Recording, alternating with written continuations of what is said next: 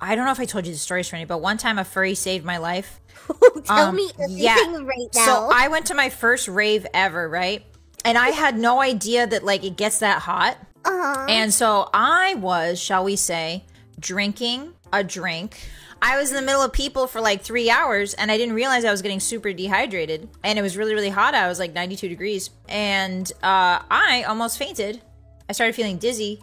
And the next thing I next thing I knew, I woke up there was a furry standing over me in a orange tiger costume. like Tony the Tiger. Yes, kind of like Tony, kind of like Tony, a little bit like Tony, and and he gave me a wet wipe and like a bottle of water, and I was like, "Thank you," and then and then he left, and I was like, "Oh, okay, well, that was a spiritual experience, you know." What a fucking hero. I know, right?